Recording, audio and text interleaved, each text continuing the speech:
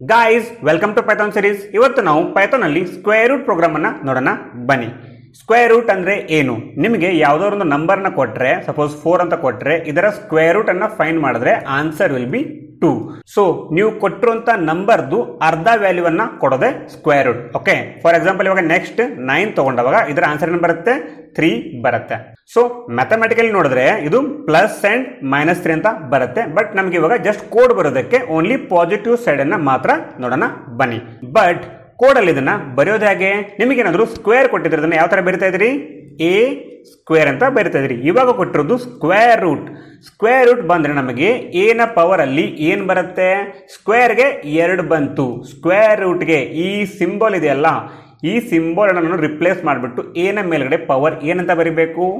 ಗೊತ್ತಿದ್ದವರು comment ಮಾಡಿ. ಗೊತ್ತಿಲ್ವಾ? ನೆನಪಿರ್ಲಿ ಗಾಯ್ಸ್ ಸ್ಕ್ವೇರ್ ರೂಟ್ಗೆ ಪವರ್ ಅಲ್ಲಿ ಪಾಯಿಂಟ್ ಫೈವ್ ಅಂತ ಬರುತ್ತೆ. ಅಂದ್ರೆ ಇಸ್ ಈಕ್ವಲ್ ಟು ಹಾಫ್ ನೋಡಿ ಫೋರ್ದು ವ್ಯಾಲ್ಯೂ ಹಾಫ್ ಆಗಿದೆ. ನೈನ್ದು ವ್ಯಾಲ್ಯೂ ಕೂಡ ಇಲ್ಲಿಗೆ ಹಾಫ್ ಆಗಿದೆ. ಸೊ ಸ್ಕ್ವೇರ್ ರೂಟ್ ಅನ್ನ ಎ ಪವರ್ ಬಿ ಅಲ್ಲಿ ಬರೀತೀರ ಅಂದ್ರೆ ನಿಮಗೆ ಪವರ್ನ ವ್ಯಾಲ್ಯೂ ಏನಾಗಿರುತ್ತೆ? ಪಾಯಿಂಟ್ ಫೈವ್ ಓಕೆ ಇವಾಗ ಇದನ್ನ ಬರೆಯೋದಕ್ಕೆ ನಮ್ಮ ಹತ್ರ ಟೂ ವೇಜ್ ಇದೆ. ಅದರಲ್ಲಿ ಮೊದಲನೇ ವೇ ಯಾವುದು? ವಿತೌಟ್ ಯೂಸಿಂಗ್ ಮ್ಯಾಥ್ ಫಂಕ್ಷನ್ ಅಂತ ಹೇಳಿದ್ದಾರೆ. Second one with using math function ಮೊದಲಿಗೆ ವಿತೌಟ್ ಮ್ಯಾಥ್ ಫಂಕ್ಷನ್ ನೋಡೋಣ. So guys first one square root without using math function ಇದಕ್ಕೆ ರಿಕ್ವೈರ್ಮೆಂಟ್ಸ್ ಏನು? ಫಾರ್ ಎಕ್ಸಾಂಪಲ್ ಇವಾಗ ನನಗೆ ಫೋರ್ದು ಸ್ಕ್ವೇರ್ ರೂಟ್ ಬರಿಬೇಕು ಅನ್ಕೊಳ್ಳಿ. ನಾನು ಇದನ್ನ ಎ ಪವರ್ ಬಿ ಎಲ್ ಬರೆದ್ರೆ ಫೋರ್ ಮೇಲೆ ಪವರ್ ಅಲ್ಲಿ ಬರುತ್ತೆ?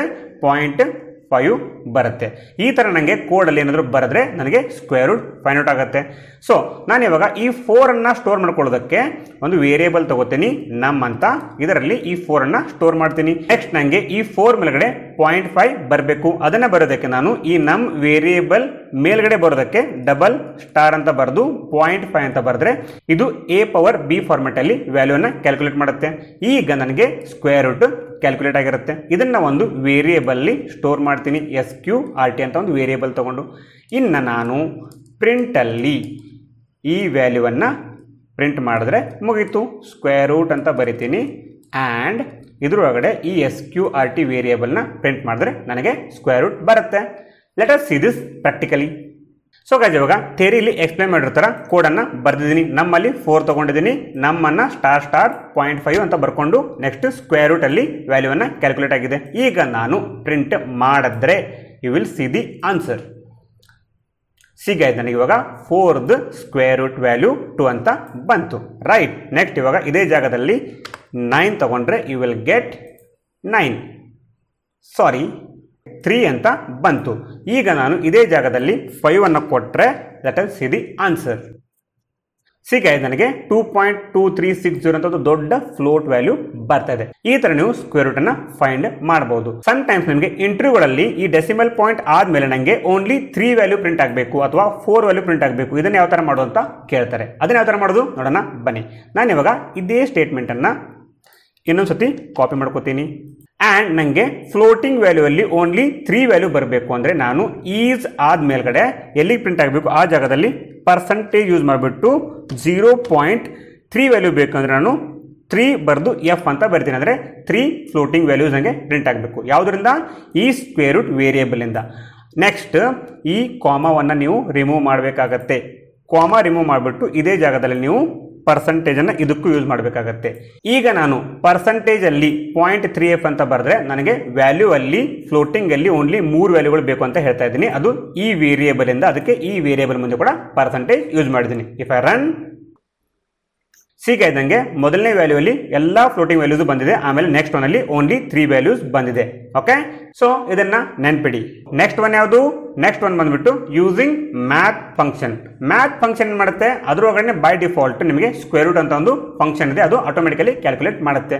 ಬಟ್ ಇವಾಗ ಮ್ಯಾಥ್ ಅನ್ನ ಯೂಸ್ ಮಾಡ್ಕೋಬೇಕಂದ್ರೆ ನಾವು ಕೋಡ್ ಅಲ್ಲಿ ಮೇಲ್ಗಡೆ ಇದನ್ನ ಇಂಪೋರ್ಟ್ ಮಾಡ್ಕೋಬೇಕಾಗತ್ತೆ. ಮೇಲ್ಗಡೆ ಫಸ್ಟ್ ಲೈನ್ ಅಲ್ಲಿ ಕೋಡ್ ಅಲ್ಲಿ ಇಂಪೋರ್ಟ್ ಮ್ಯಾಥ್ ಅಂತ ಬರಿತೀನಿ.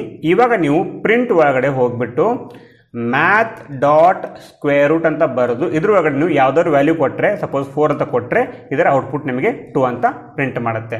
ಇದನ್ನು ಕೂಡ ನೋಡೋಣ, ಬನ್ನಿ. ಸೊ ನಾನು ಇವಾಗ ಮ್ಯಾಥ್ ಅನ್ನ ಯೂಸ್ ಮಾಡ್ಕೋಬೇಕು ಅಂದ್ರೆ ಅದನ್ನ ಫಸ್ಟ್ ಲೈನ್ ಅಲ್ಲಿ ಇಂಪೋರ್ಟ್ ಮಾಡ್ಕೋಬೇಕಾಗುತ್ತೆ. ಅದಕ್ಕೆ ಇಂಪೋರ್ಟ್ ಅಂತ ಬರೆದು ಮ್ಯಾಥ್ ಅಂತ ಬರಿತೀನಿ. ನೆಕ್ಸ್ಟ್ ನನಗೆ ಇವಾಗ ವಿತೌಟ್ ಮ್ಯಾಥ್ ಫಂಕ್ಷನ್ ಕೋಡ್ ಬೇಕಿಲ್ಲ. ಅದಕ್ಕೆ ನಾನು ಇದನ್ನ ಕಮೆಂಟ್ ಮಾಡ್ತೀನಿ. ಕಮೆಂಟ್ ಮಾಡಿ ಆದ್ಮೇಲೆ ನೆಕ್ಸ್ಟ್ ಓನ್ಲಿ ಪ್ರಿಂಟ್ ಸ್ಟೇಟ್ಮೆಂಟ್ ಅನ್ನ ಬರ್ಕೊಂಡು ಇದರಲ್ಲಿ again I will write the same code and ಇದರಲ್ಲಿ ಪ್ರಿಂಟ್ ಅಂತ ಬರ್ಕೊಂಡು ಒಳಗಡೆ square root using math function ಇದಂತ ಬರೆದಿದ್ದೀನಿ. ಆ್ಯಂಡ್ ಇಲ್ಲಿಗೆ ನಾನು ಕಾಮ ಬರೆದ್ಬಿಟ್ಟು ಮ್ಯಾಥ್ ಅನ್ನು ಯೂಸ್ ಮಾಡಿಕೊಂಡು I will write S Q R T ಅಂತ ಒಂದು ಫಂಕ್ಷನ್ ಬರ್ತಾ ಇದೆ ನೋಡಿ, ಇದನ್ನ ಬರೆದ್ಬಿಟ್ಟು ಇದ್ರೊಳಗಡೆ ಒಂದು ವ್ಯಾಲ್ಯೂನ ಕೊಡ್ತೀನಿ ಫೋರ್ ಅಂತ. ಆ್ಯಂಡ್ ಇಫ್ ಐ ರನ್ ನಾವು ಸಿಗ ನನಗೆ ಟೂ ಅಂತ ಬರ್ತಾ ಇದೆ. ಇದೇ ಜಾಗದಲ್ಲಿ ನಾನು ಇವಾಗ ಫೈವ್ ಅಂತ ಕೊಟ್ರೆ you will get again see guys two point two three six ಅಂತ ಬರ್ತದೆ. ಇಲ್ಲೂ ಕೂಡ ನಿಮಗೆ ಡೆಸಿಮಲ್ ಪಾಯಿಂಟ್ ಆದ್ಮೇಲೆ ಓನ್ಲಿ ಮೂರು ಅಥವಾ ನಾಲ್ಕು ವ್ಯಾಲ್ಯೂಗಳನ್ನ ಪ್ರಿಂಟ್ ಮಾಡೋದ್ರೆ ಅಗೇನ್ ಸೇಮ್ ಪ್ರೊಸೀಜರ್ ಯಾವ ತರ ಬರಬೇಕು? ಮೊದಲಿಗೆ ಪರ್ಸೆಂಟೇಜ್ ಅನ್ನ ತಗೋತೀನಿ, ಆಮೇಲೆ ಜೀರೋ ಪಾಯಿಂಟ್ ನನಗೆ ಇವಾಗ ನಾಲ್ಕು ವ್ಯಾಲ್ಯೂ ಬೇಕು ಅಂದ್ರೆ I will write four F ಅಂತ ಬರಿತೀನಿ. Again here I will remove comma and ಈ ಮ್ಯಾಥ್ಸ್ನ ಹಿಂದ್ಗಡೆ ಐ ವಿಲ್ ರೈಟ್ ಪರ್ಸೆಂಟೇಜ್ ಈಗ ರನ್ ಮಾಡಿದ್ರೆ ನನಗೆ ವ್ಯಾಲ್ಯೂ ಅಲ್ಲಿ ಏನಾಗುತ್ತೆ? ಓನ್ಲಿ ಡಾಟ್ ಆದ್ಮೇಲೆ ಫೋರ್ ವ್ಯಾಲ್ಯೂಸ್ ಪ್ರಿಂಟ್ ಆಗುತ್ತೆ. You can see here guys so ಇದು ಪೈಥಾನ್ ಅಲ್ಲಿ ಸ್ಕ್ವೇರ್ ರೂಟ್ ಅನ್ನ ಯಾವ ತರ ಫೈಂಡ್ ಮಾಡೋದು? With and without using math function okay ಅರ್ಥ ಆಯ್ತಾ? ಅರ್ಥ ಆಗಿದೆ ಒಂದು ಟಾಸ್ಕ್ ಇದೆ. ಟಾಸ್ಕ್ ಏನು ಅಂದ್ರೆ ಇವಾಗ ನಮ್ಮಂತ ವೇರಿಯೇಬಲ್ ತಗೊಂಡು ವ್ಯಾಲ್ಯೂ ಅನ್ನ ನಾನೇ ಕೊಡ್ತಾ ಇದ್ದೀನಿ. ಬಟ್ ಇವಾಗ ನಾನಾಗೇನೆ ವ್ಯಾಲ್ಯೂ ಕೊಡೋಕ್ಕಿಂತ ಇದನ್ನ ಟರ್ಮಿನಲ್ ಇಂದ ತಗೋಬೇಕು. ಯಾವ ತರ ಅಂದ್ರೆ, ಹೇಳ್ತೀನಿ ನೋಡಿ. ಇವಾಗ ನಾನು ಈ ನಮ್ ಇಸ್ ಟು ಫೈವ್ ಅಂತ ವ್ಯಾಲ್ಯೂನ ನಾನೇ ಕೊಟ್ಟಿದ್ದೀನಿ. ಈ ಜಾಗದಲ್ಲಿ ನನಗೆ ಇವಾಗ ಎಂಟರ್ ಯುವರ್ ನಂಬರ್ ಅಂತ ಬರಬೇಕು. ನಾನು ಇವಾಗ ಆ ನಂಬರ್ನ ಕೆಳಗಡೆ ಟರ್ಮಿನಲ್ ಇದೆ ಗೊತ್ತಾ? ಇಲ್ಲಿಗೆ ಎಂಟರ್ ಮಾಡ್ತೀನಿ. ಇಲ್ಲಿಂದ ತಗೊಂಡು ನನಗೆ ವಾಪಸ್ ಕ್ಯಾಲ್ಕುಲೇಟ್ ಮಾಡಿ ಸ್ಕ್ವೇರ್ ರೂಟ್ ಅನ್ನ ಕೊಡಬೇಕು. ಇದಕ್ಕೆ ನ ಯಾವ ತರ ಬರಬೇಕು? ಗೊತ್ತಿದ್ದವರು ಕಮೆಂಟ್ ಮಾಡಿ. ವಿಡಿಯೋ ಇಷ್ಟ ಆದ್ರೆ ಲೈಕ್ ಮಾಡಿ. ಅರ್ಥ ಆಗ್ತಿದ್ಯಾ? ಸಬ್ಸ್ಕ್ರೈಬ್ ಮಾಡಿ. ನೀವು ಫ್ರೆಂಡ್ಸ್ ಯಾರಾದರೂ ಕನ್ನಡದಲ್ಲಿ ಕೋಡಿಂಗ್ ಅನ್ನು ಕಲಿಬೇಕು ಅಂದ್ರೆ ವಿಡಿಯೋನ ಶೇರ್ ಮಾಡಿ. ನೆಕ್ಸ್ಟ್ ವಿಡಿಯೋಲಿ ಸಿಗೋಣ. ಎಲ್ಲರಿಗೂ ಬಾಯ್ ಅಂಡ್ ಟೇಕ್ ಕೇರ್